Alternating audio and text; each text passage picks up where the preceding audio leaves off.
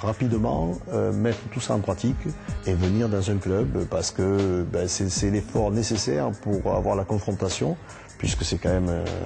même si c'est un moyen de sa défense, c'est quand même aussi un sport d'opposition. Donc il faut qu'il ait son partenaire ou les partenaires, peu importe, pour pouvoir se confronter et, voir un petit peu la, finalité de ces techniques et surtout suivre un enseignement euh, de qualité.